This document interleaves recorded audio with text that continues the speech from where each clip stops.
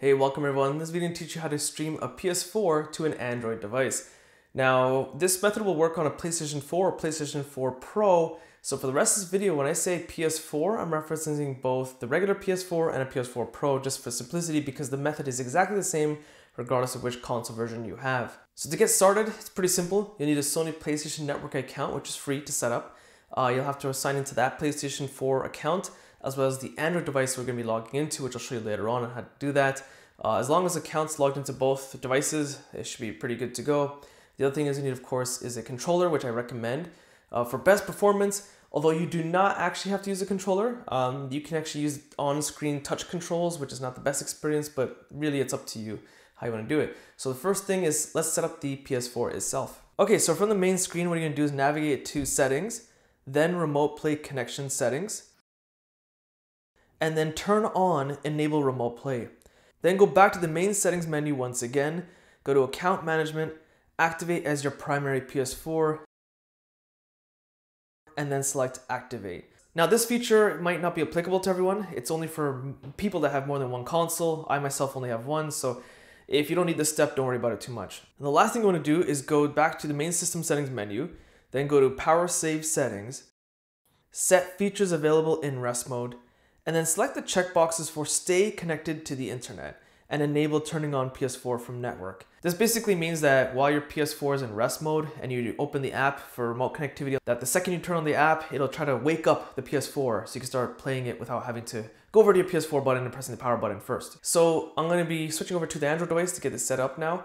And I just wanna mention that I'm gonna be using Samsung devices. On my Galaxy Tab 5 SE, uh, it will not work for some reason the controller will not pair. I'm gonna actually purposely show that to you anyway, just in case you run into the same issue. But if I try pairing it with my cell phone, it works just fine. I'm not sure why, it's if it's a Sony issue or Samsung issue, but just bear that in mind that you might experience the same issue, but you can use the on-screen touch controls to control your uh, PS4 console.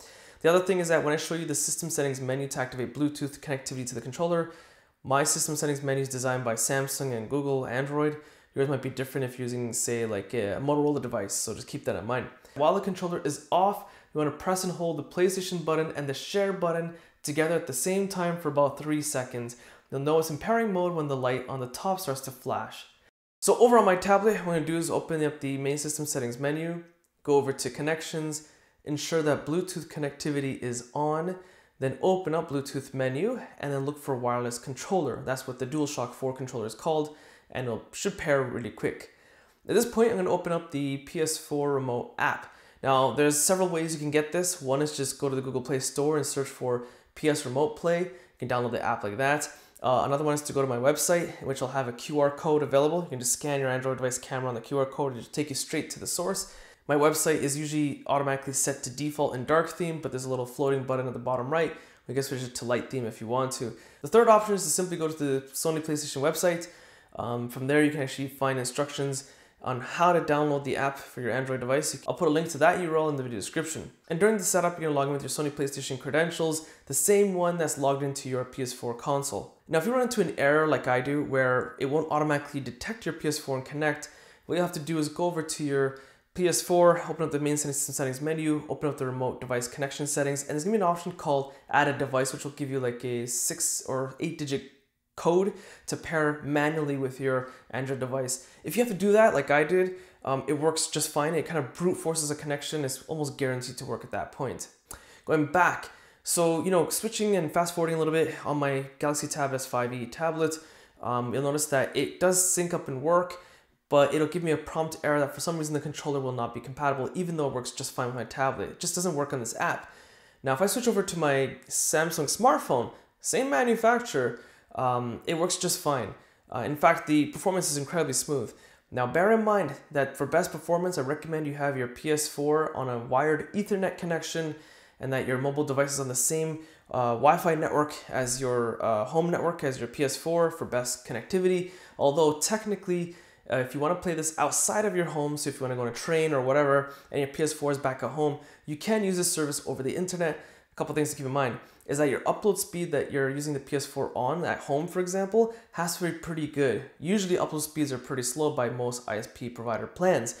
The other thing is that the further away you are from home, the worse the connection might be in terms of latency. uh, there'll be more latency the further away you are. So best performances generally stay at home on the same network as a PS4.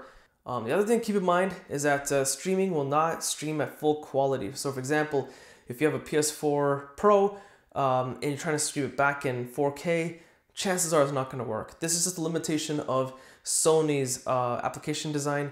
But I also noticed that it can't even stream in 1080p, even though Sony advertises that's possible. I've not gotten 1080p streaming to work on a PC or Mac because I have made videos on how to stream to PC and Mac.